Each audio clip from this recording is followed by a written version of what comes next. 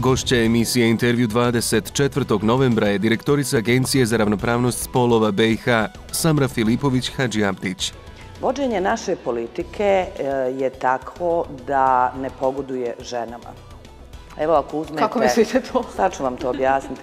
Dakle, ako uzmete sve ove dogovore, pregovore, pogledate restorane, kafane, izlete, e, to nisu mjesta na kojima se žene ugodno osjećaju. Ali evo, premijerka Republike Srpske, dakle Željka Cvijanović, ide ona na sastanke? Ona je izuzetak. Zdravstveni radnik, kad mu dođe trudnica u komi i padne u komu zato što je pretučena, mora to da prijavi. Da li prijavljuju? Ja znam jedan slučaj da nisu prijavili. Jako su bitni mediji.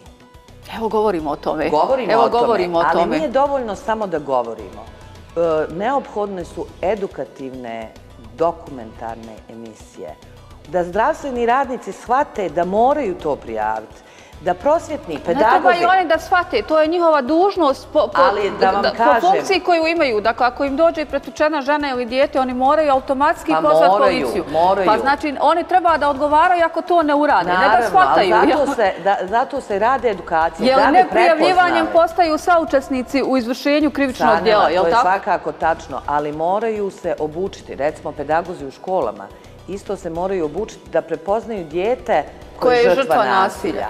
To je često, nije to tako otvoreno uvijek i nije to tako jasno. Intervju 20. Obavezno pogledajte.